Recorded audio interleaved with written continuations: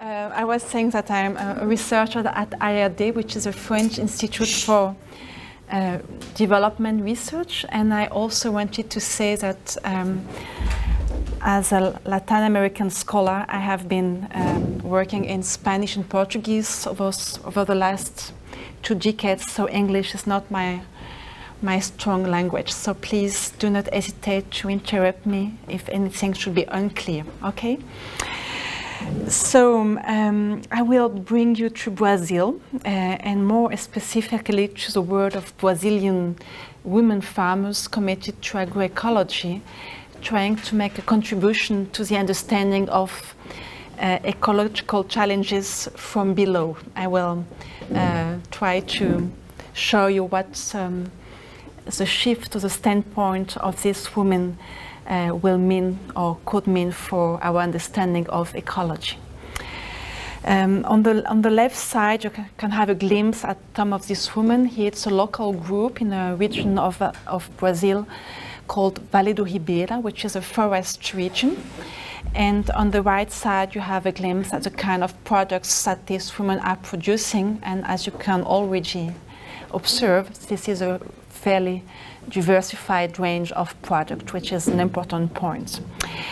So as an introduction, uh, I would like to show you a, a, few more pictures in order to, for you to, uh, to feel the very different forms and levels of, agro of commitment of these women to agroecology. On the first picture, you can see a practice. Um, this woman, uh, which is so-called Quilombola woman, which means a descendant of black slave, is, uh, is doing some kind of soil fertilization with earthworms in order to avoid to apply uh, chemical fertilizers. And for her, of course, it's a kind of committed practice to the environment. On uh, the second picture, you can see uh, one of those local uh, groups of women farmers and here they are doing some collective work, which is called mutirão in, in Brazil, which is a way to, to encounter each other and to uh, make some tasks, to perform some agricultural tasks together, that it would be difficult to be done uh, if alone or only at family level. And I can already say that this group of women are also organized to, to sell their products at some uh, solidarity economy fairs, and they are also committed to the broader uh, political movement on of agroecology. And, um, and, and precisely on the, on the third picture, uh, which was taken in, in August this year in Brasilia, you can see the broadest um, mobilization, uh, mass mobilization of women farmers, which is called Marcha das Margaridas, and which has gathered up to 100,000 women farmers in Brasilia since the year 2000. So Marcha das Margaridas is happening almost for every four or five years and um, is about the rights of these women, social rights, economic rights, and public policies in support to uh, agroecology and family farming. So can already understand that there are many scales involved in the issue of these women's commitment to agroecology and very different forms too, from uh, being uh, an agriculture and being uh, someone marching in the, in, the, in the city of Brasilia. But before uh, going further, uh, just let me tell you what I understand with agroecology, which is a rather broad term. Agroecology, in the more narrow definition, uh, refers to a range of practice and knowledge.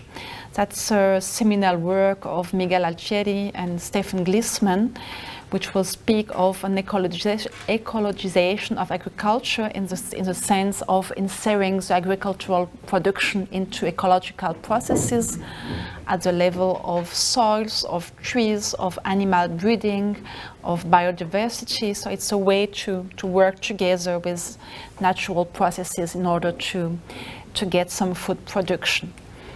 A second point, very important, is that agroecology is food-oriented. It's about producing food and not, for example, uh, biofuels or other types of production which are not... Ah okay. um, oriented towards toward food. And the third point in this more narrow definition of agroecology it has, is that it is an encounter between peasant and scientific knowledge. Um, peasant knowledge for a long time has been considered backward, it has been delegitimized, and now agroecology is a kind of re-legitimization of this kind of empirical knowledge from peasants. And scientific knowledge on agriculture is a very um, productivist dominated knowledge uh, in, in agronomical um, courses. and agroecology appears as a dissident science within agronomy. So it's an encounter for dissident knowledge in the academy and peasant knowledge which has long been uh, considered as insignificant or unproductive, backward, irrational, and so on. But now there is a broader, a more political uh, definition of agroecology, which is the one that I will refer to in this presentation. In this sense, agroecology is also a political economy and a social movement. It is a social movement which has uh, his subjects um, in uh, some figures are like women, peasants, traditional communities, indigenous communities, these so-called quilombola communities in the case of Brazil, as I said rapidly, people who consider themselves as descendants of the black slaves. So what these people have in common is that they are reproducing life in the sense of feminist sociology, reproducing life in the sense of being the devaluated basis of capitalist production, of being those who will produce food and reproduce ecosystem and take care of them and be responsible at the end for the reparation of the damage of capitalism. So that's no uh, casualty if you encounter those people which were, were responsible for the reproduction of life as being the subject of agroecology. It's kind of reclaiming a place in the social and economic system. So it's important uh, for a feminist view and agroecology to have this more political reading because agroecology is not just about technique, it's also about social relation, it's about political economy.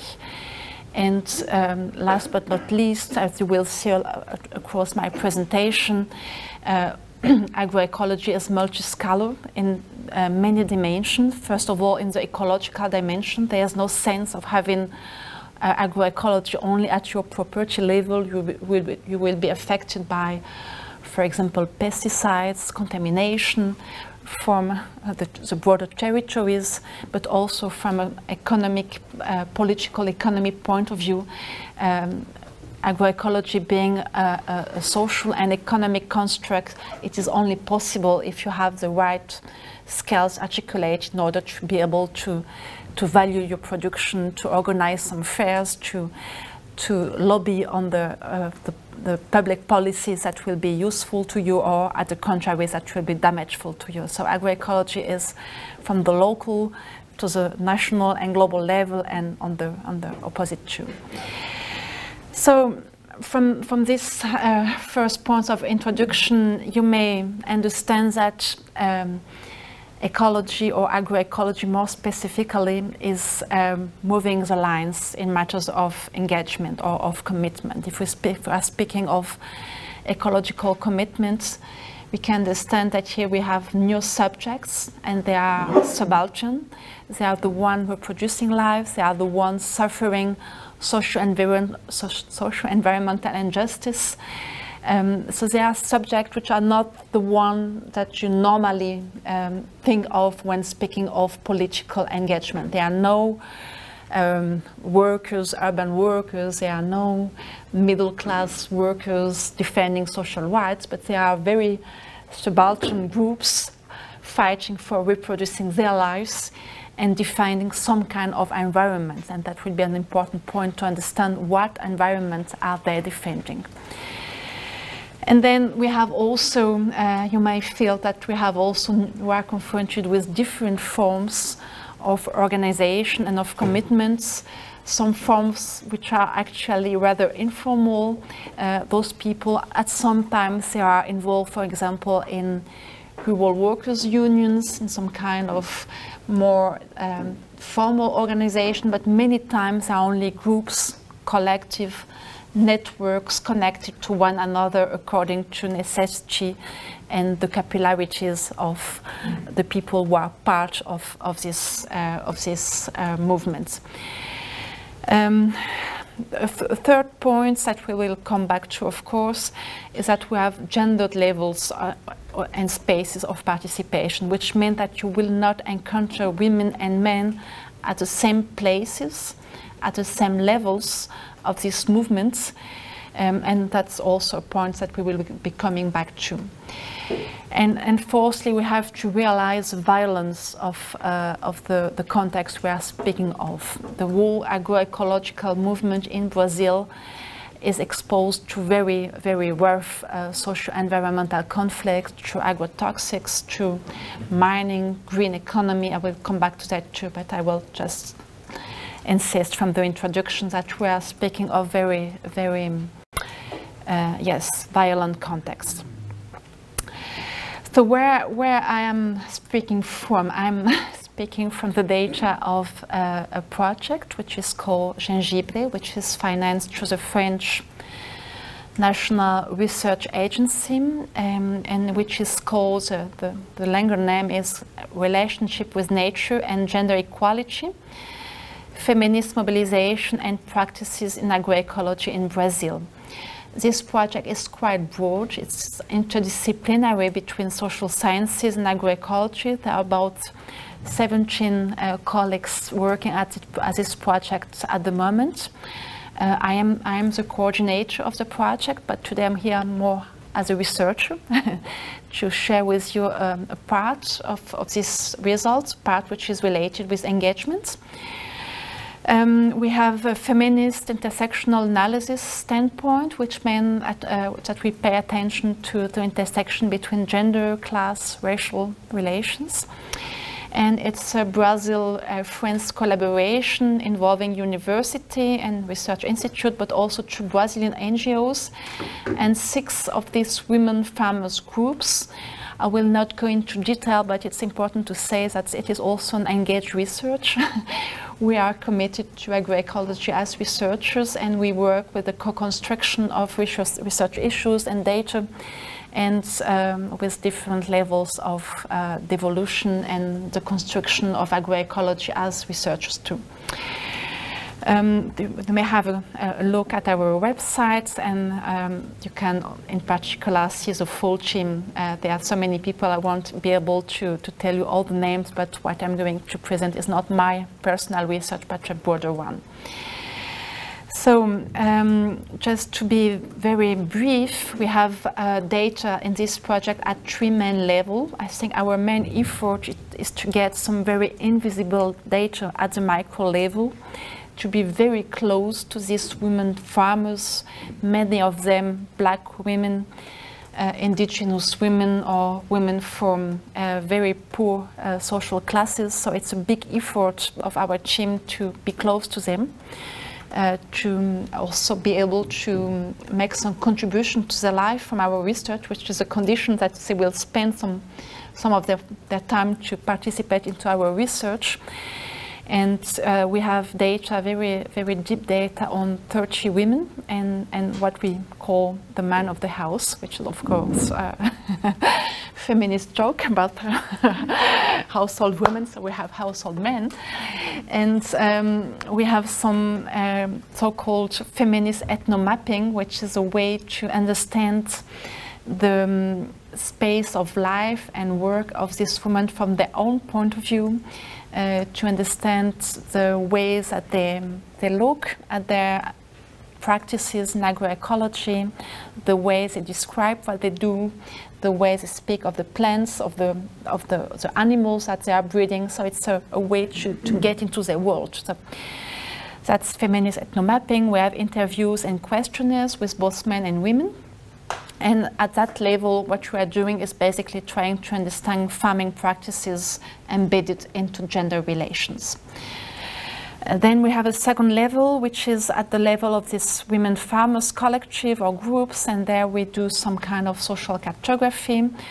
And some kind of, we call it river of life of the territory, by which we mean a way to understand the history of one territory, which is not necessarily linear, so it's not a, a timeline with one thing happening after the other, but it's a more curved history with some obstacles, some moment that you go backward and then you make a, a bigger way and then something happens. So a way to, to understand history which is not linear. And here we basically apprehend the territory in, in gender, class, and racial relations. And then we have a broader level to understand territories in relation with the many actors who, dispute, who, dispute, who fight for this territory with very uh, opposite views. And there we speak with people from the agribusiness and people from the mining sectors and from the green economy and political um, um, uh, people in, in, the, in, the, in, in the government, etc. So that's a way that we get a broader view to the subject. So at some point of my presentation, I will, I will come back to some of this data. I just wanted to, to give you first an overview. So the outline of my presentation, it will have four main parts, uh, which are all um, about some very simple question, but not so easy answer. First of all, committed to what? Secondly, committed from what social position? And then how does, that, does commitment happen and lastly, coming back to the question committed against whom, and then a conclusion. So we try to, to get into their world with this, that simple questions. So committed to what? Which ecology or agroecology are we talking about? Um, here I will show you a few, few pictures again of the kind of things that cis women are committed to. The first one here on, on the left side are the kind of projects that the, the women are proud of. This is from a post in a WhatsApp group of, of one of these women's collectives. And one of them would post that kind of picture just to show what she's producing, and everyone would say, "Wow, great, that's nice." so why is it, why is it nice? it's because it's healthy, agroecolo agroecological food, and also cultural food. In Brazilian, they say comida de verdade, a true food, not a false food industrialized. On the second picture, um, you can see a woman's vegetable garden. Here we have some cabbage and lettuce and kind of, of foods that you so eat every day. And um, here on the on the background, you can see some some coffee plantation, and that kind of coffee plantation is actually monoculture and that's the husband of this woman um, planting coffee with chemical pesticides and fertilizers. So for her, uh, her commitment is to defend her place, her little vegetable garden, mm. Against the expansion of that cash crop, which is coffee uh, monoculture. So you see, it's very everyday environmental environmentalism, reproducing life.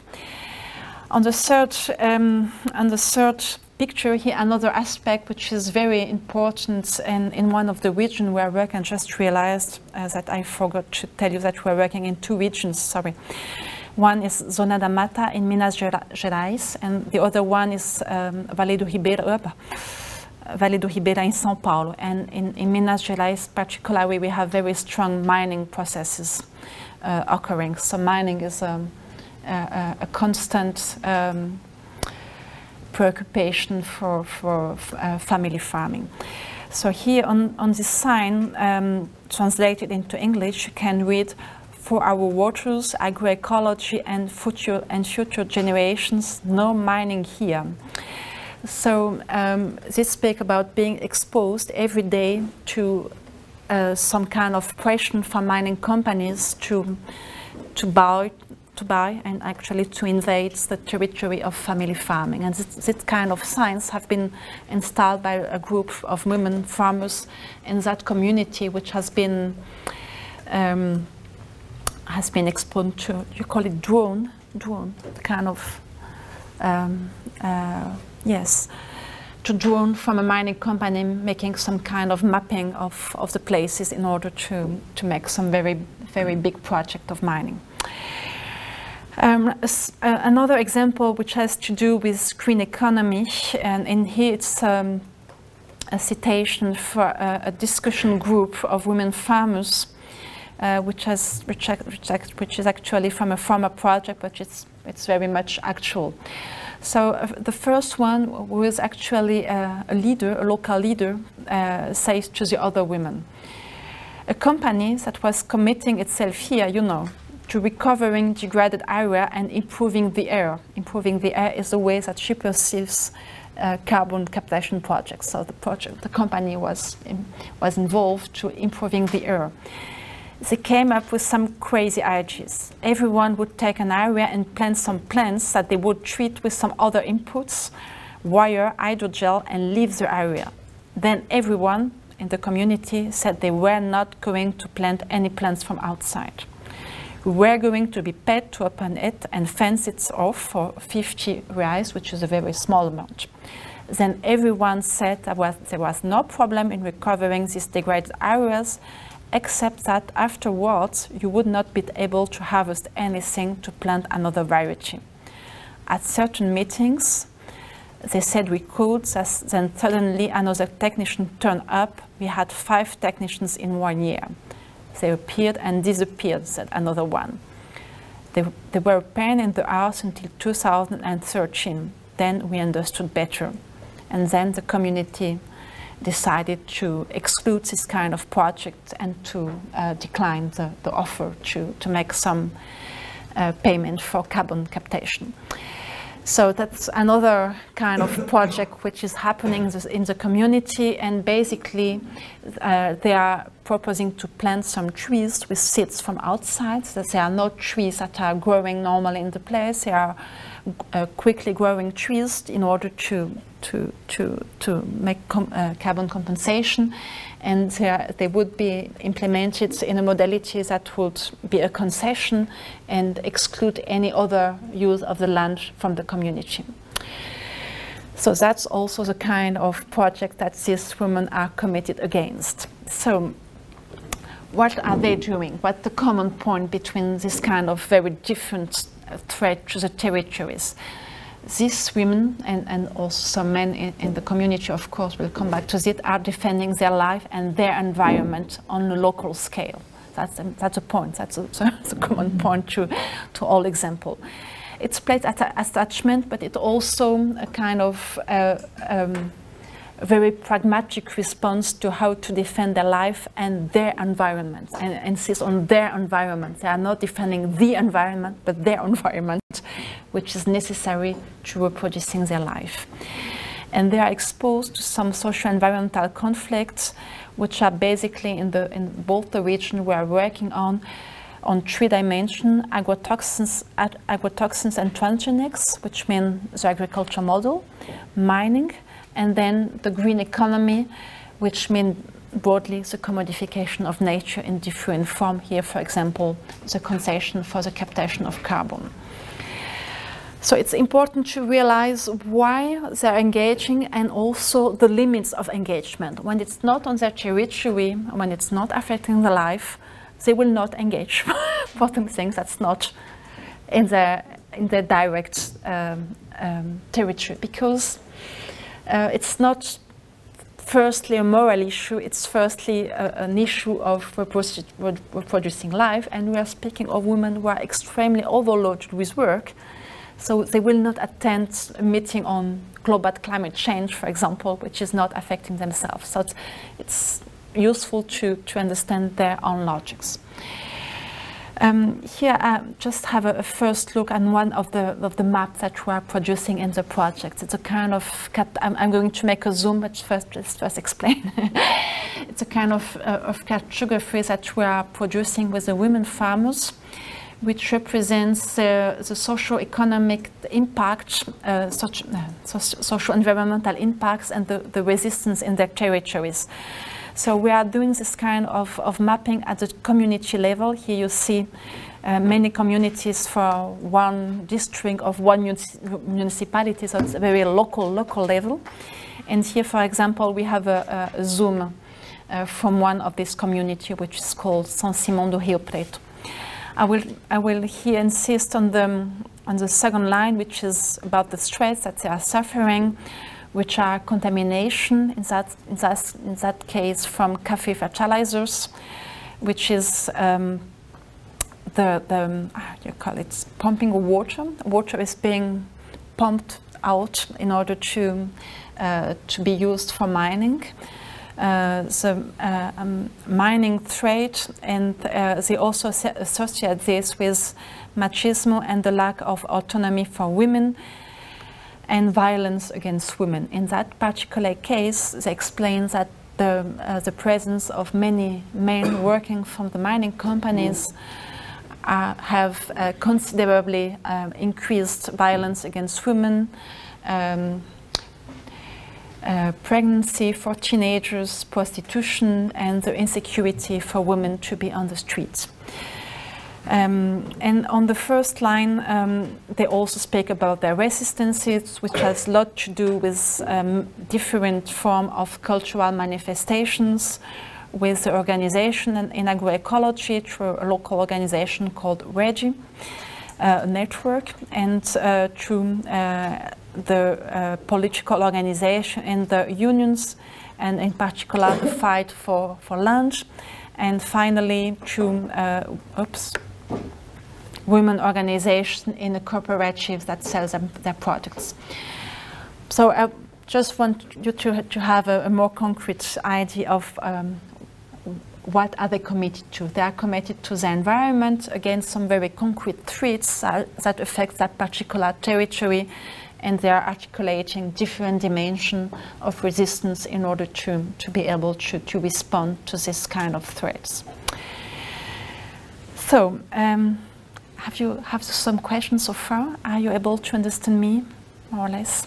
Yes. English is very fine, I think, and more than fine. Okay. okay.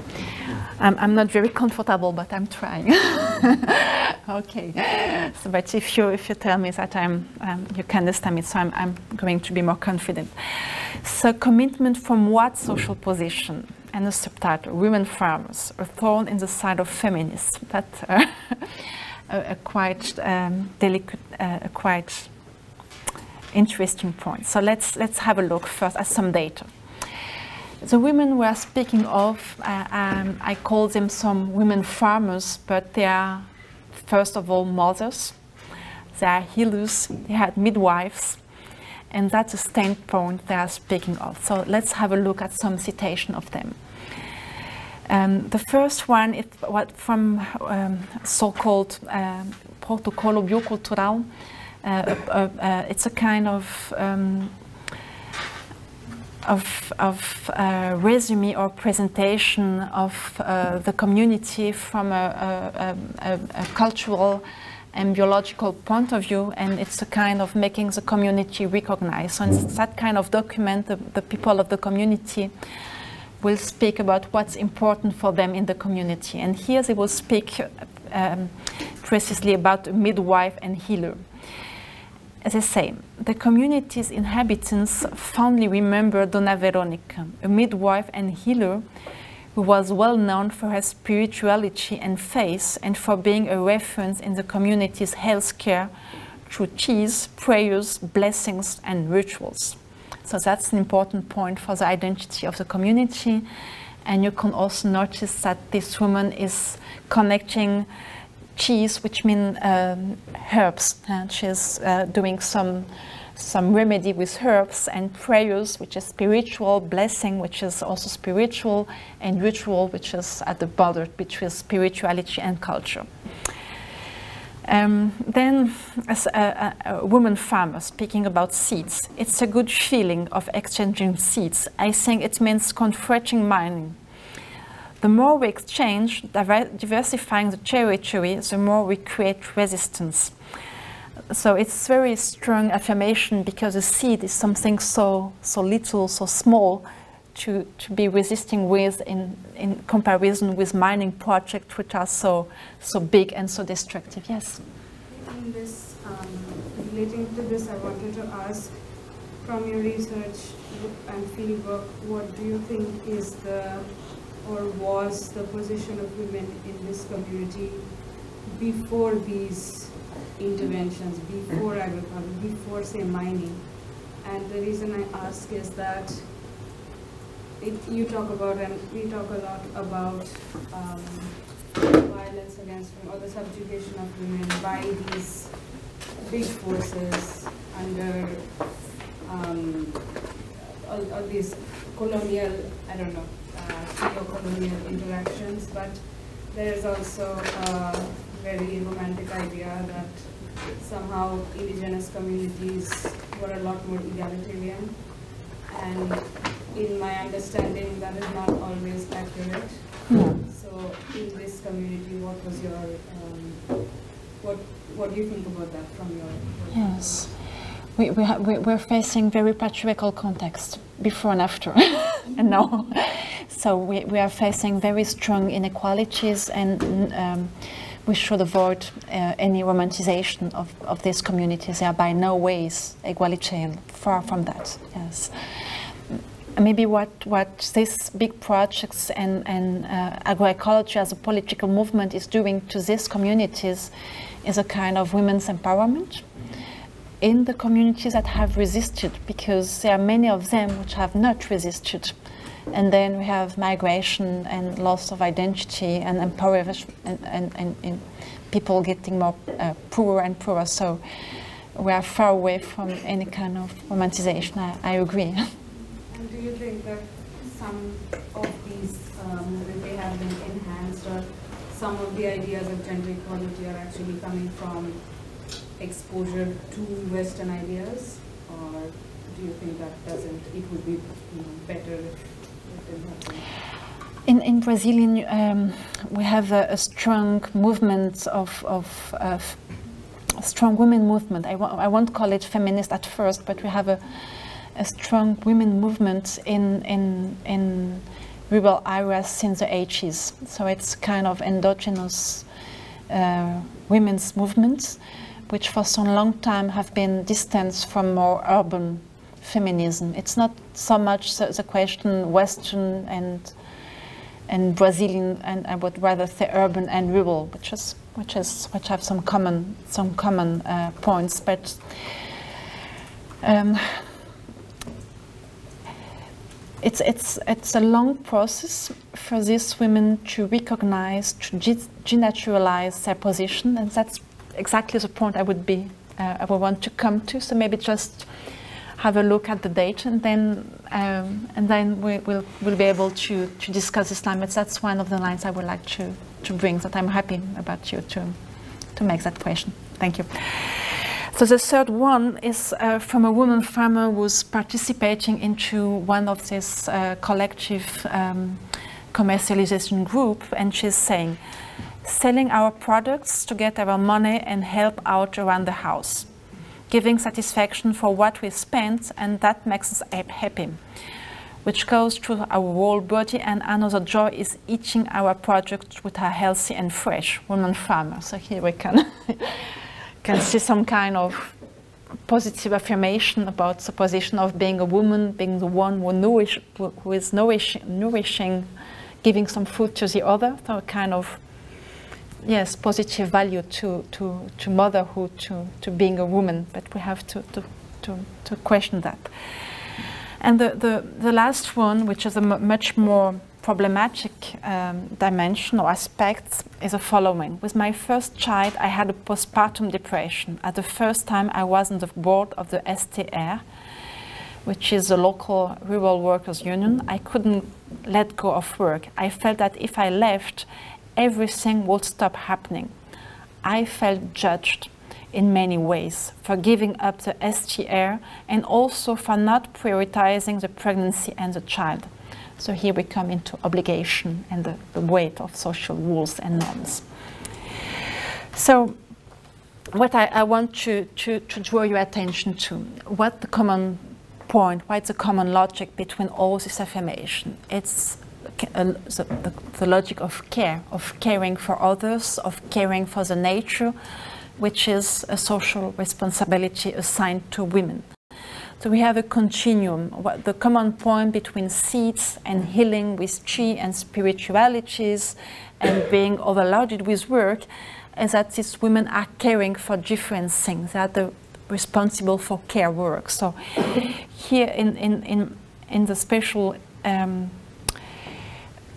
uh, field of agroecology, this means concretely cooking and recycling food waste and breeding animals and growing plants and trees and fertilizing the soil and collecting medicinal plants, which are all interrelated aspects of, of agroecology. It's also engaging into local organizations where this kind of way to make agriculture will be defended. So that's a continuum of practices along the line of caring for others, for nature, from the very basic practice in your, in your field to some more orga organizational spaces. And as your, uh, as, um, what's your name?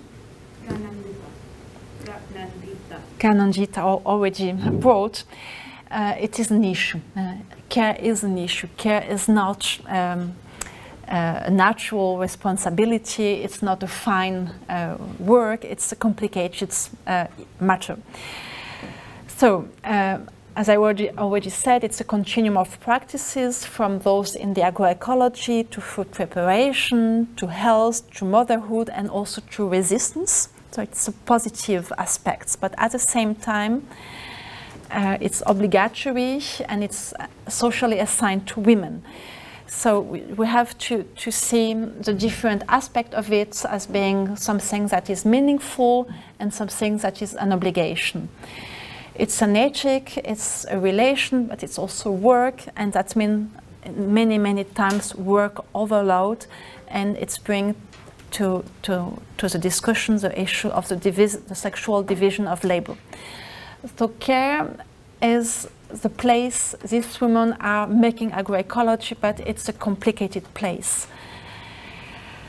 Um, and to go one step further, I want to, to bring the idea that, that's, that care is the only possible place for this woman to, to make any kind of commitment, commitment to agroecology, but actually any kind of action from then can only start from this place in society, which is a place which is assigned to them. So it's not possible to imagine that to imagine that that this woman would engage into ecology from a different standpoint. They are only with that possible identity and place in society. So many times we, we face a debate on essentialism, uh, meaning that people will, and mostly that kind of Western, more urban feminist will disagree with that kind of, of position. They will say that we are falling one time again in the naturalization of women, that meaning that we are assuming from natural uh, all the work that they are doing to repair uh, the bodies, to repair the world, and that we are not empowering this woman but reproducing more of the same kind of unequal position for this woman. But the point is, we are not empowering this woman, but these women are empowering themselves from the unique position that they detain. So there, there's no um, there's no other places, other starting position for them to to commit to any kind of engagement. So that's a point I, I want to make, um, and I want maybe to, to be a little bit provocative and to um, ask you if finally um, the, the line between uh, um, a more political engagement, that, kind of essentialism, which is oft, often um, uh, critica, uh, criticized by, by feminists, is so clear? Is it so clear when, when you see a woman with, with saying, I'm engaged for my position as a mother, as a spouse, as a healer, as a midwife, and today it's a political engagement for me, and I feel empowered. I mean, uh, who am I to tell her that she's not empowered? So it's also a, a, matter of power relation between different currents of, of feminism. Um, there are several debates around that. Uh, Spivak, in, which is a, a, a, an important figure of subaltern studies, introduced a term of strategic essentialism to say exactly that, that people uh, may use essentialism as a strategy and the, one, the only one which is possible. Uh, ecofeminism also with uh, here in, in India and Germany, Maria and Vandana Shiva, or in France, Jeanne Burgart, have pointed very well that point that there's not such a strong divide between so-called essentialist ecofeminism and constructivist ecofeminism, but actually it's blurred. and wh when you're on the field, you never know whether this woman is strategic or essentialist, whether she is political or totally immersed in her motherhood. So maybe it's ultimately a false, false, a false debate to some, to some extent. But what I, I want to maybe you to, to keep as a key idea is that there's no, and there's no, there's no other places for these women to, to make a commitment to ecology.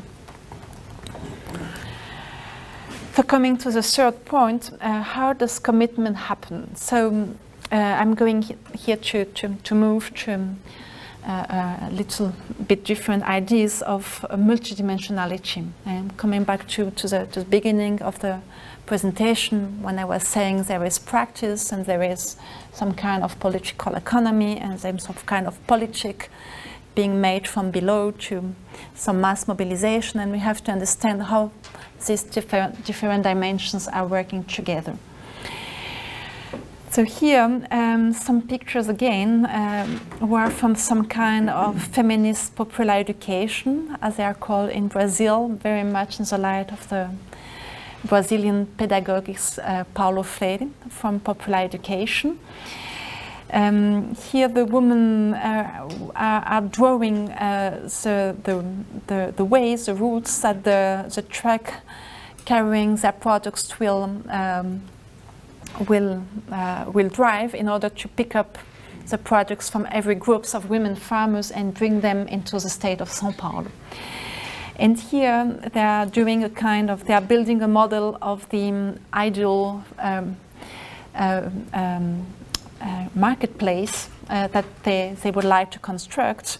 And it's interesting because they are putting food, but also some kind of handcraft and a place for, child, for the children to be cared of. And so they are bringing together um, what would be their, their ideal worlds.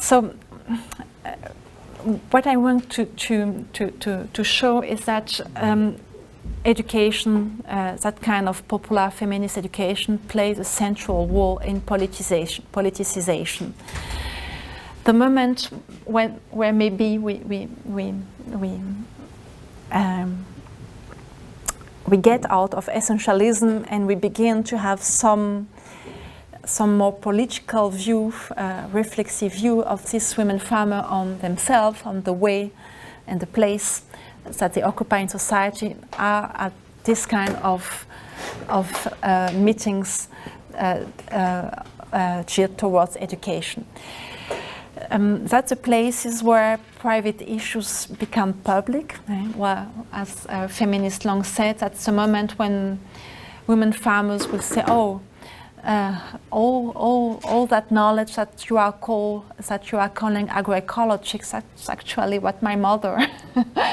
always um, taught to me. That's a kind of knowledge that I thought was backward. That's a kind of knowledge that I thought I was." Um, maybe one of the last one to, to, to have them and now I'm discovering that um, there are other uh, women farmers and men farmers too who have this kind of knowledge. I am discovering that there are some scientific uh, at the university called agro agroecologists working on that, of that kind of knowledge. So that's a moment of politicization, politic, politicization in the sense of, of discovering the particular as being collective and as being political. Um, that on the on the dimension of agroecology, but also very much on the dimension of being a woman. That's the moment where the whole work of reproducing life, the whole work of caring for others is recognized as being politic as being the basis of the capitalist system, as being much more than just surviving, but actually repairing the world and playing uh, um, an essential and an essential role in the whole economic and political system. So this is done with political elites, um, which are uh, that kind of NGOs working with feminism and agroecology, which are also these political leaders from inside the women's uh, movements. And it's a, a, very big connection, a ne network, as I was saying at the beginning, between different parts of that, that, uh, that, that broader uh, ecological movements. That's what uh, we can call uh, local public spaces. Uh, th this is a term from the theory of solidarity economy in France, which has been proposed by Bernard Eme and Jean-Louis Laville to speak of those very local spaces um, what, where you are doing something. There are practical spaces, you are doing economy, you are selling, you are producing, but at the same time, you are democratizing. You are discussing about uh, economic relation, about economic inequalities, and on the concrete and practical way to overcome uh, these inequalities. So it's political. It's political from below. Um, you can also relate to Nancy Fraser's theories, uh, democratical theories, and the concept of subaltern counterpublics, which mean uh, oppositional uh, spaces, those kind of spaces where you can, where the subaltern speak, uh, again speaking like Spivak, where the subaltern can develop some oppositional ideas to the dominant system and begin to to organize in order to, to overcome some kind of inequalities. So that kind of educational spaces are key uh, for developing agroecology and commitments from the basis of these women farmers. Yet, there will be nothing without a political economy organization, which I call solidarity economy or solidarity-based economy. There are many forms of it. Uh, here a few pictures again. The first one is uh, from a broader project oops, in Brazil, which was, called, which was called Agroecological Notebooks cadernetas agroecológicas, um, which, are, which, was about um, the women farmer registering all their production, the monetary and the non-monetary production, the market production and the non-market production. Concretely, it, it's a very simple instrument which has just four columns, uh, which is the, the, production which is self-consumed, the one which is bartered, so it's non-monetary non and non-market, donated, same thing, and the, the production which is sold at some marketplace. And it is a very powerful instrument for these women to realize the value of everything that they are producing. It's very powerful that this woman would realize that they are not just helping their families, as it is normally said to them, and they repeat this, this phrase, I'm not a worker, I'm just helping my family. And saying, I'm not a worker, means that they have no rights, they are nobody. So suddenly to see, oh, the, the total value, the, the total equivalent monetary value of my production is like one salary. It's a very powerful instrument. So that's a kind of, of, of, of instrument that, that, that are needed really to, to build commitment to agroecology in order to justify, to legitimize what they are doing, to give in value to it, to make some some visibility to the work of these women.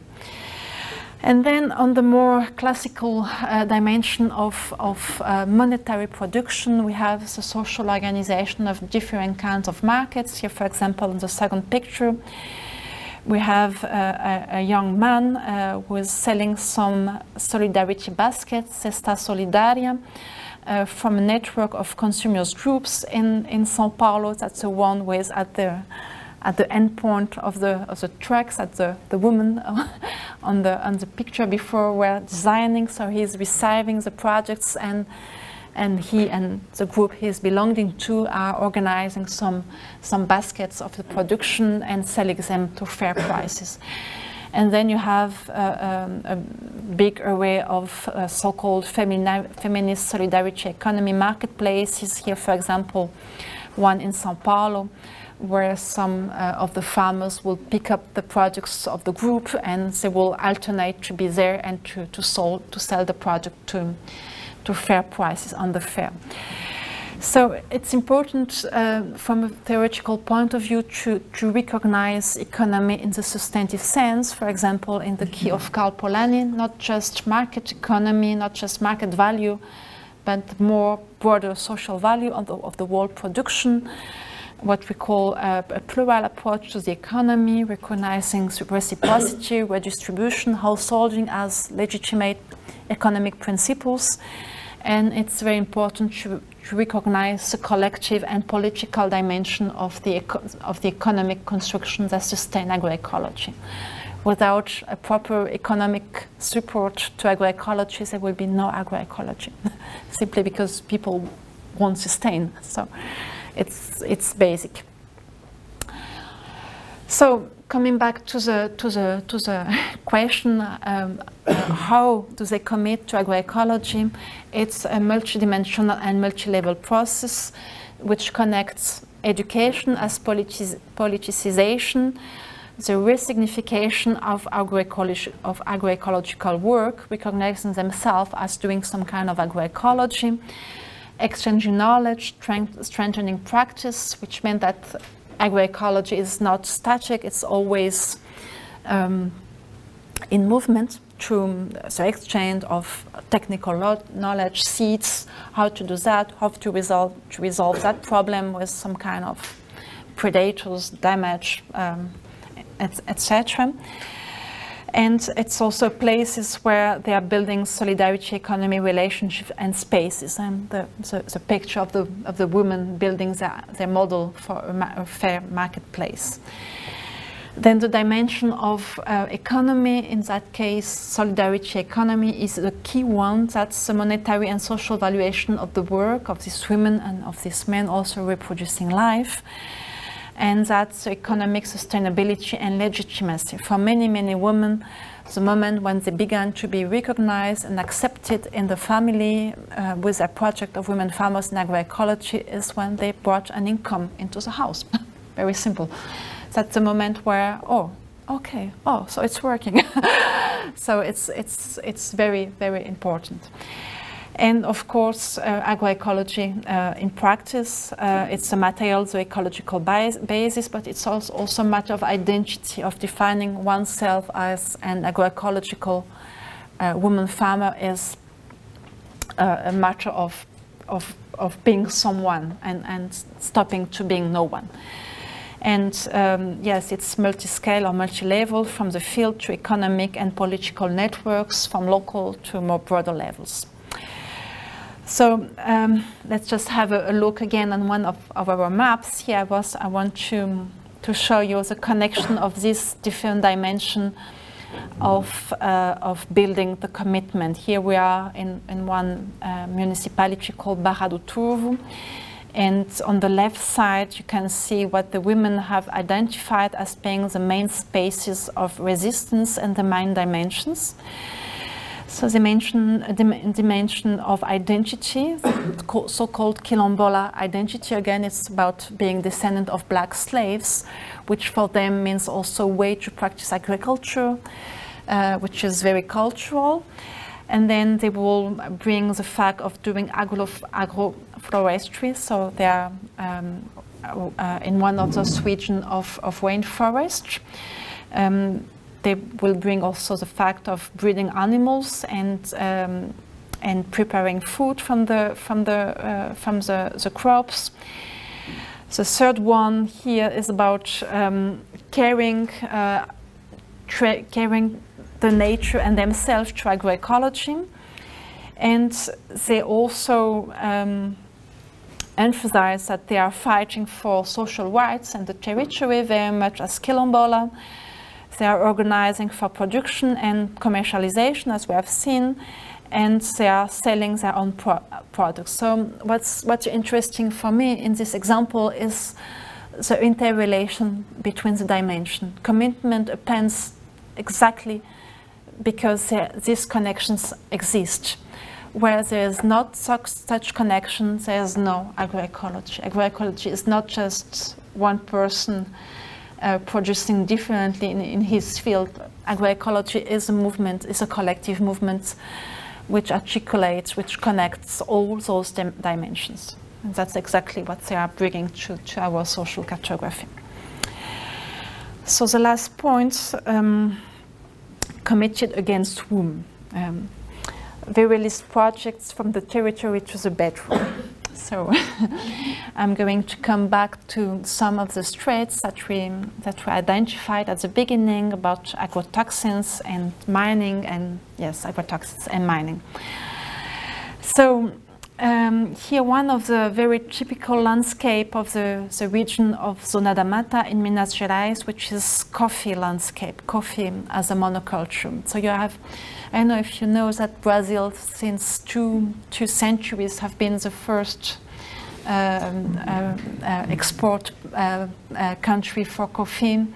Um, today it has about uh, one third of total um, production worldwide and um, coffee is also the second uh, most traded material, raw material after petrol. So coffee is a huge business.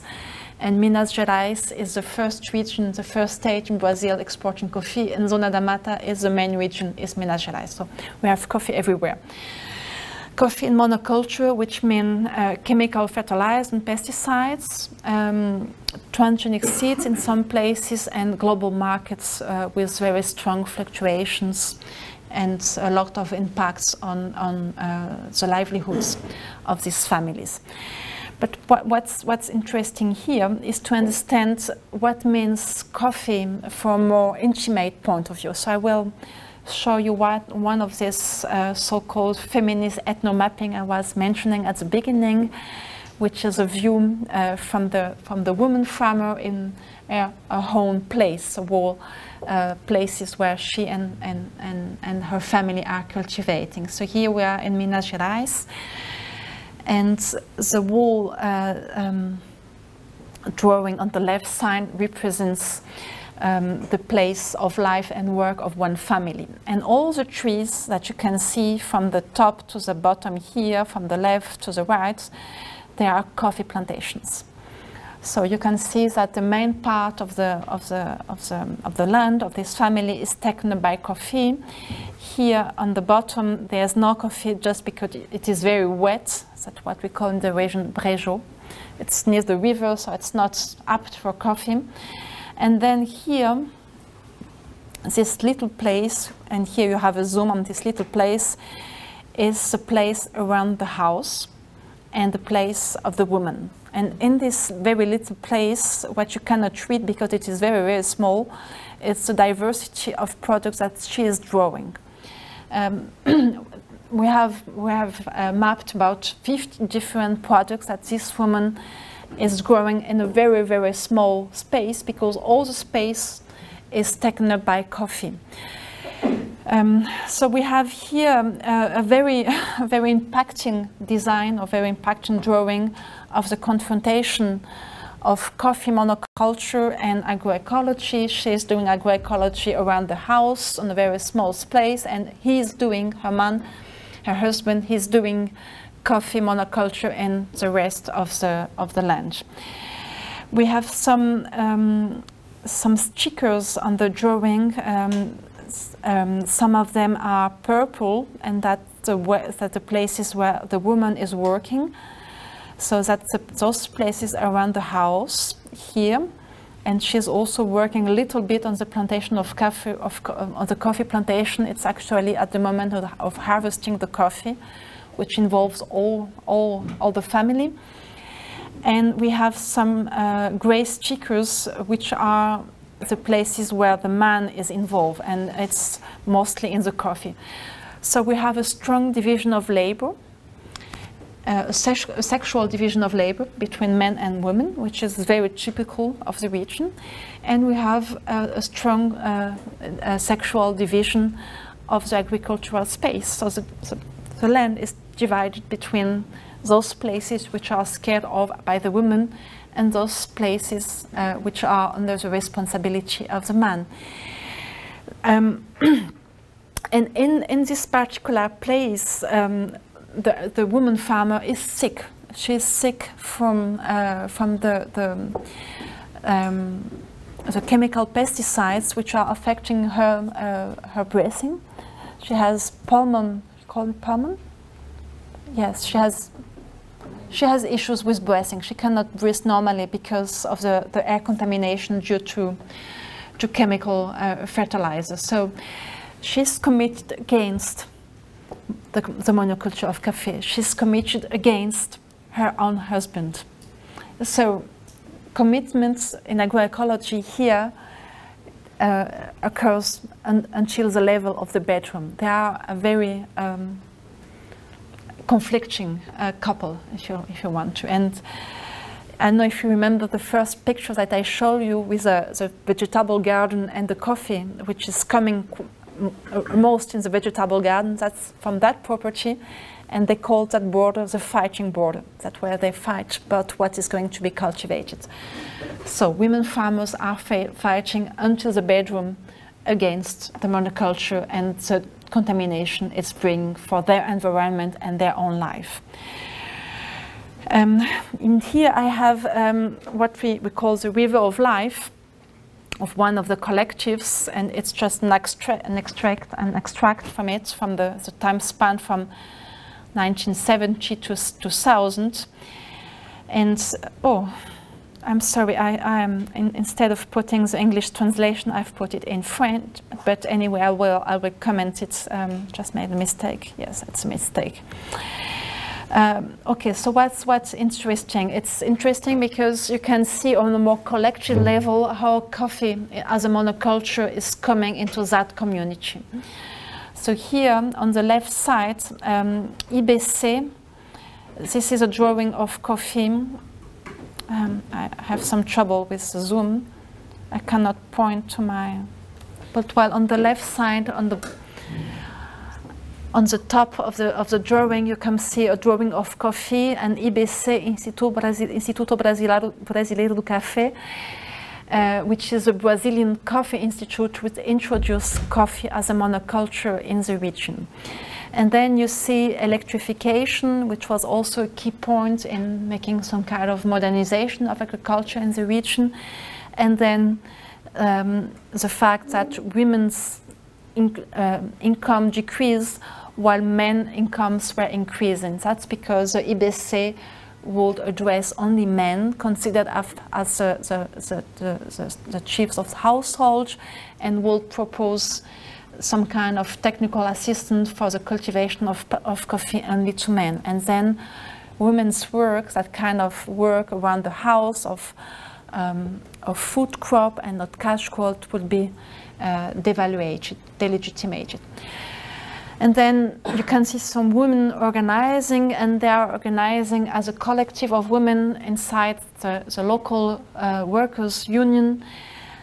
And um, they are organizing from 1991 on against mining, which is also coming to their territory, and they are organizing through as a church, which is one place which is assigned to women, so they are always organizing from those places who are assigned to them, but actually they are doing some kind of political mobilization against the main social environmental traits of the territory. And in 2000 they are um, they are funding their own collectives, a so-called women's collective in the local trade union, uh, not trade union, but workers' union. And today, uh, uh, since almost 10 years, they are women president of that local uh, workers' union. So it's a history which is speaking of uh, the ways that these women are, are, are building their mobilization from the very intimate level of getting coffee into their, not their bedroom, but their, their, their, their field to the level of local organization. Last point on mining.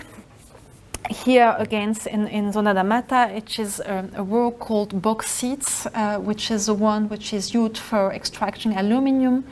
And bauxite is found uh, about three meters beneath uh, the soil, so it's very superficial work And that has a, an important consequence, which is that it is, it is viable for mining companies to make some very small excavations. It's not that kind of huge mining that you might have seen in some some uh, documentary uh, which are on many hectares, but here they are very small excavation and they are made on families' farmers' land.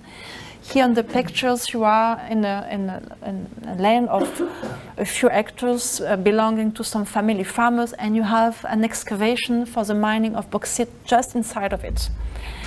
And it is very important from, from the, the point of view of the social relation involved because it means that the mining company will negotiate directly with the family farmers. And in this case, it will negotiate with the man, which is again considered the head of household. Exactly the same as in the case of coffee monoculture. So one who is uh, considered as being able, as being responsible for that kind of income generating project is a man because generating income is considered responsibility assigned to men, just the same as caring is assigned to women. So the political economy of mining, the political economy of monocultures is very, high, is very highly gendered and it is always directed to men as being responsible for generating an income.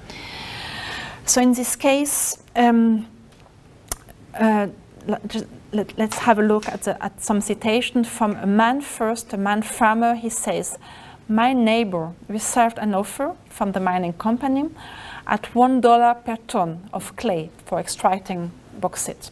He turned it down because he thought it wasn't much. He could have become rich. In his place, I would have accepted. And it's a strong citation because it speaks of two things. Um, it speaks of the possibility which is offered to men to become rich and of the injustice which is made to that very uh, low class men, peasant men, inside a value chain uh, where they are occupying the last place. So he's like a moral dilemma. Yes, on one side, I would have become rich, richer than I am, richer than my woman. I get the money, that's nice. But on the other side, hmm, okay, I, I, I, I notice that the offer is not so good, so I'm at the, at the very low end of that value chain. And that's what, um, what gender sociologists have called marginalized masculinity, meaning that place that men from lower social class occupy in relation to that kind of hegemonic masculinity, which in that case is represented through the mining company. So you, you understand that extractivism, as we call it, extractivism uh, uh, in mining sector, extractivism also in, in the monoculture model of agriculture, is very gendered. It is using the men, it is using, using the men as a social group in order to, to penetrate the territories. It is offering money to men. It's putting men on the first line of modernization. And at the same time, it's putting women on the forefront of the resistance to it. So here we understand why we have so many women in agroecology. It's because there are other uh, ways, other uh, proposals that have been made to men, and we understand why the conflicts are getting until the level of the bedroom. It's because this kind of political economy of extractivism would not be possible if it was not mobilizing the position of poor men in the territories and using them to implement their projects. So we are not speaking of a natural propension of women for caring. We are not speaking of a natural propension of men to destroy the environment, but we are speaking of the very particular position that the economic system is putting them differently, gendered position.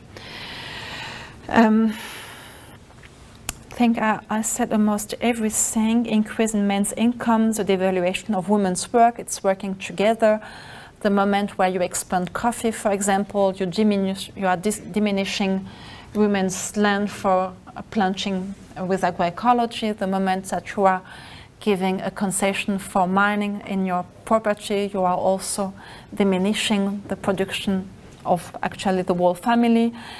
Uh, also to say that the, the, the, men farmer are the first who are exposed in their own bodies, exposed to cancer through pesticides, exposed to accident, through mining, so they are exposed, very much exposed.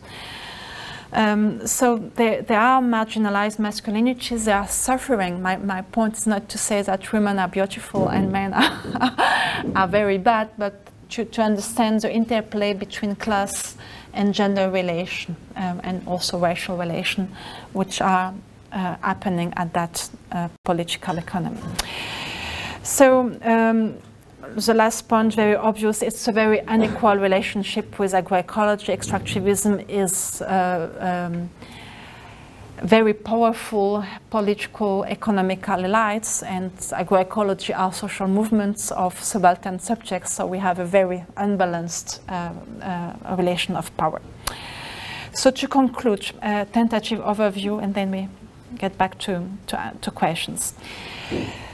To understand uh, women farmers' commitment to agroecology, we have to be multidimensional. We have to understand the ecological dimension of their commitment, the fact that they are, the, they are reproducing those lives that really matter to them, the fact that they are seeking some kind of justice for their environment, for their territories. They are not assuming a moral ecology of every place, but really, really of their place. And the scales where this environment and this territory is happening is, of course, politically constructed. It can be expanded particularly to that social movement that we have been speaking of economic dimension, it's basic. Um, uh, through solidarity-based political economy as a condition for commitment, as a material condition of valuing the work that is being done, monetary and also the social value, for example, that kind of agroecological, agroecological notebooks where you will register the whole range of production, whether market or non-market. We have a plural economy where market is not absent, but is being re-embedded into social relations. Um, that's not a point I have um, deepened today, but maybe we come back to it in the discussion. We have very different kind of markets in agroecology. And then it's a political dimension, uh, starting from caring as social position, position, which is the only one which is possible, using that kind of local public spaces or subaltern counter publics that we find particularly in feminist popular education. And there is a big challenge I have not mentioned so far, but of building some intermediary spaces to those more instituted spaces of power. How do you speak to government? How do you intermediate with some more powerful actors? How do you get public policies? How do you do political lobby from that very basic uh, spaces that are constructing within the agroecological movements. Uh, political dimension, as I said at the beginning, which is cross-cut structural violence. Um, um, I mean, not only as a violence of agrochemical, but also uh, assassinations and um, the very risk of, of being a political leader in, in a country like Brazil. And from a more, um, last, lastly, from a more theoretical point of view, um, what's, uh, what's um, the basis of my whole presentation is a standpoint feminist epistemology. I'm not speaking universally, I'm speaking from that particular places. I'm speaking from the experience of that woman. I'm speaking from a situated knowledge perspective and from an interdisciplinary approach. Uh, based on that projects with different colleagues. Thank you very much. Sorry I've been a little bit long, but now we have, can have uh, almost 30 minutes for, for, for debate.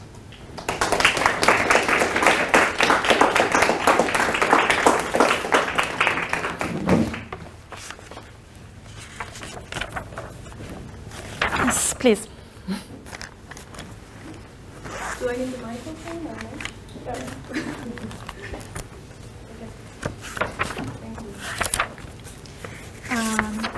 hi, thanks for your presentation. My name is Paola. I am from Mexico, and I am starting my master thesis about the political participation of women in green extractivism projects in Mexico. Oh, okay. so, yeah, this presentation was just perfectly matching my my Mhm. research topic. I have many questions, but I just gonna keep it short because I don't want to monopolize the work. But uh, so my two questions are the first one. I am really scared of falling into this essentialism of Mm. women as the ones responsible of carrying the change, Mhm. of taking care of the environment. So, what would you recommend? Like, what parameters do I need to keep in mind to not do that in my research project? To not uh, fall into this idea of women are the ones responsible because they are the ones reproducing life. They are the, they are the ones taking uh, carrying out the care work. Uh, especially because we are talking about uh, especially indigenous uh, peasant women. And uh, my second question will be um, if you could provide us more insights about the concept of everyday environmentalism. Um, if you could recommend some authors, I will be Mm. very, very grateful. Thank you.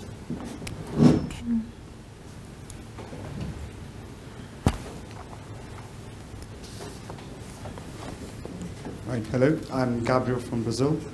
And my question is um, we have seen in Brazil a growing trend of monoculture and the expansion of fascism and very conservative uh, things. And while the, move, the landless movement is very successful in growing and, and uh, fighting for women's rights, what is lacking at the moment for this demands from the landless movement to reach more national levels at the moment? Is it the lack of institutionalities that connect the social movements to the government at the moment or Brazilian institutions? Because they're very big and very influential where they are, but seem to be losing that fight Mhm. recently.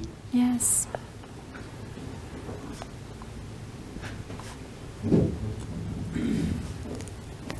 Um, hello, um, my name is Cara. I'm from Austria. Thank you very much for your presentation. I really, really enjoyed it. Uh, I was wondering if you could maybe elaborate a bit on the violence argument and uh, you, you argued that there's a, a lot of structural violence, but I was wondering if you also uh, did some research on intra-household violence Mhm. and if uh, being a female farmer has an impact on that as well. Thank you. Yes. So maybe I can I can begin with these three questions and then take a second round of, of questions. Yes. Thank you very much. Very very very good question.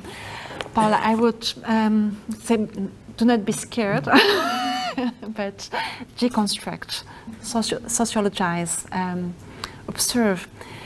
You, you have as a, I, I mean, there are two, two, um, two aspects in, in that issue of essentialism that what the people say and what you report about them, what you analyze about them. So I would, I would assume that indigenous Mexican uh, women will very probably be on that thin frontier between farm, uh, farming themselves as women and the one who care for and politicizing. Very probably it's impossible to uh, to to uh, um, to to to draw a, a, a, um, what you call it um, a strong line between what is essentialism and what is not. And I think that's not what you as an analyst uh, should aim for. I think your position is to uh, contextualize, to explain, to deconstruct the position that these- women are occupying in the Mexican society. To put some perspective to it, to put it very surely into the sexual division of work, but also in that specific context to explain what are they considered to be responsible for in that context and how they use it in their political struggle. I think that's that's your job and I'm sure you'll, you'll do it very well. but you, you will not be able to, to make some strong uh, line where, where the social actors themselves do not. And yes, I, think that would be my my advice to, to contextualize, to sociologize, to, to explain, to, to give justice to what they are doing. Uh, about everyday environmentalism, um, there is a, a, seminal work by Loftus. Um, I, I, don't remember the title. I can Loftus. Um, can I work?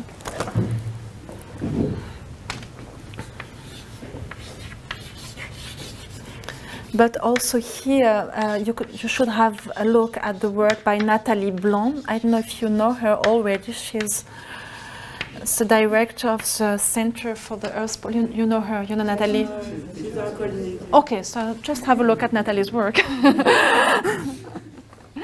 but the, the, the, key idea is really to understand um, environmentalism from the practice, from what people do, and not from a moral standpoint, for example, from practice, from for what matters in their everyday life. You may also have a look at, you, you read French? No? well, for those of, okay, for, from those of you uh, reading French, you can have a look at, at Geneviève Pruvost, uh, which is called Quotidien Politique which is a book which has been most discussed in French, Quotidien Politico, um, which, which is about politics being made in, in, in everyday life, and uh, she has studied many um, ecological alternatives in French. But uh, I'm, I'm, I guess that some of her articles might be traduced at least in English. But her book, I think, no, it's a new book, it's in French only, but there are also other works of her. Yes, on the point of the landless movement in, in Brazil, um, the, the, the, landless movement have been recognizing women's, um, women's position, women's reivindication from the, the 1990s, more or less, so it's uh, most two or three decades, and they have, yes, uh, participated in, into some important mobilizations. They have been part of the Marcha das, Mar das Margaridas that I was mentioning. But today, I, I, I, am not a specialist of the landless movement, I, but I think that more than institutional, institu institutionality, what is lacking is a the, the political situation at the Brazilian parliament and government, it's very extremely difficult. I, I think you know that two, two days ago, the, uh, the, uh, the, the, law projects uh, uh liberalizing um, many, many pesticides have been passed as a Senate, so it's just one illustration of the political uh, situation at the moment. So. Um, and uh, what's important, just to illustrate that, that situation, that political situation, that law project have been passed on unanimity, which means with the with the with the with the votes of the, the, the, the, deputies or the senators of the of the workers' party. So it says a lot about uh, where the problem is. I think it's not so much institutionalities and really the,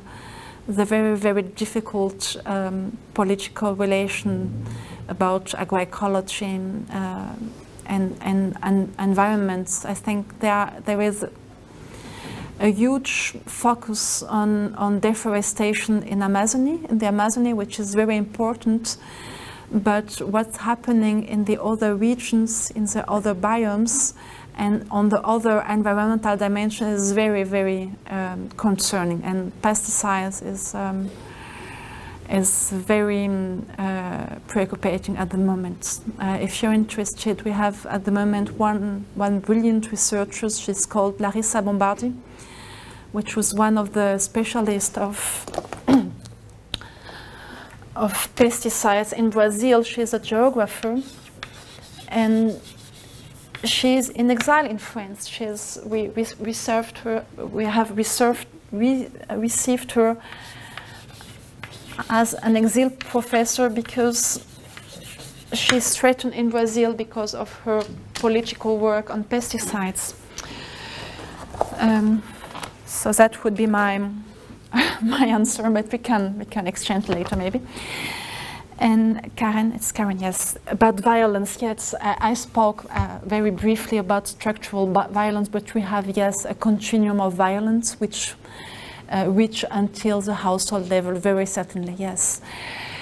Um, women, women farmers explained very well how everything is interrelated from the levels of political assassination to that level that I briefly mentioned of uh, prostitution and and teenagers being pregnant through um, the penetration of mining in the territories, through what we call molecular violence, through the pesticides, through that kind of violence which happens through in the bedroom, in the in the in the household, because men and women are pushed to very opposite economic models. So um, I was joking that that couple um, call the frontiers be between their spaces the, the, the, the, the frontiers, the, the, the borders of fighting, they call it.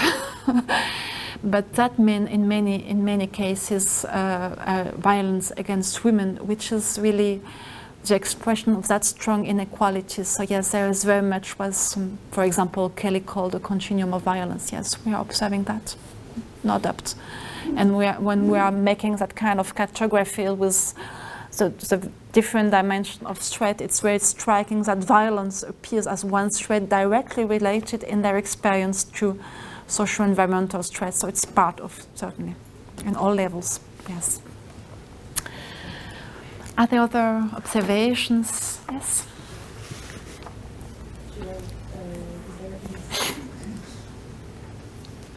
Hi, uh, I'm Linda from the Netherlands, and I was wondering. From? The Netherlands. The Netherlands, yes. Yeah. Um, what do you think uh, is the the role of, of uh, women on the other side of the value chain? So, like women in the global north, basically. Yes. How can we align um, in solidarity? How, how, can, how we can we be solidarity with mm. these women?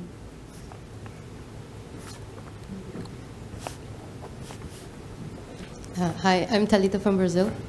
Uh, I would like to know uh, what's the role of agroecology towards food security in these countries? Because if you consider Brazil, the monoculture is not responsible for feeding the population. Uh, so if uh, further commitment to agroecology would like enhance food security, how important it can be to this kind of issue?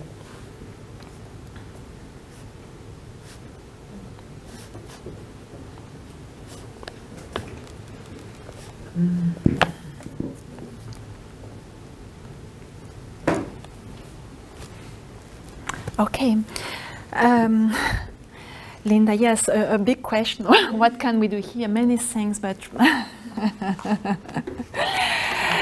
um, regarding the value chain, yes, there are very much many initiatives that you surely know about fair trade and how it can we build some more just um, uh, value chains. Um, um, I would also provoke you to say that there are also some transnational feminist movements. That's also the kind of thing that women here in the, the global north may do. But yes, we are all interrelated. That may be the point that we want to make. I mean, speaking about coffee, we all drink, many of us, a majority of us are drinking, are, are drinking coffee, and I drink coffee two or three times a day, and my coffee does not always come from an agro agroecological coffee. So it's very difficult because the structures of the, the global markets are here. So the, the point is, is uh, how, how are we able to, to, to, to, to support those uh, chains which are a little bit more fair than, than those very conventional. But then we have to look into details and um, at least as a consumers we have some economic power, a little bit of economic powers. And uh, Talita, um, I, uh, um, I, have not the figures here of, of um, the, the, exact figures of um, of monoculture production and family farming. I would say family farming in that case more than agroecology, uh, uh, contribution to food security. But there are many projects uh, like beans, like um, vegetables, like foods which, which, are coming heavily from family farming in Brazil. Of course, you have the big crops about uh, corn crops and, and so on who come from monoculture, that's clear.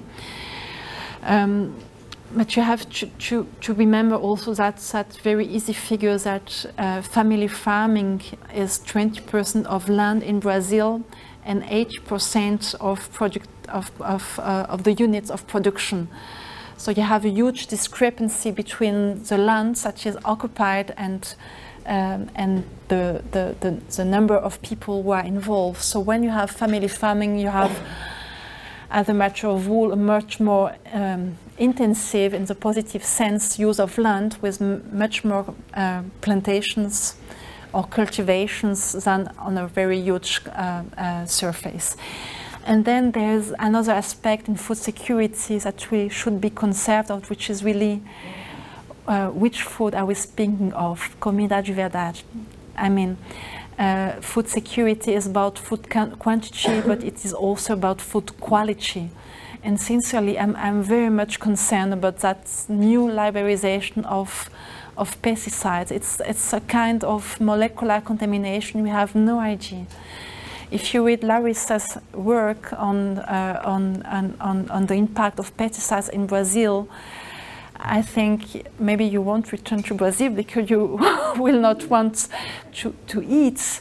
I mean, it's so difficult today to escape that kind of contamination of the old foods. So food security for me is also very much about that kind of quality. And here there's no doubt that that kind of practice that agroecology is, is talking about is actually inevitable. Otherwise we will die. People are dying. Uh, yes. As any other questions? Friday evening. Thank you very much. It has been a pleasure. And. Um,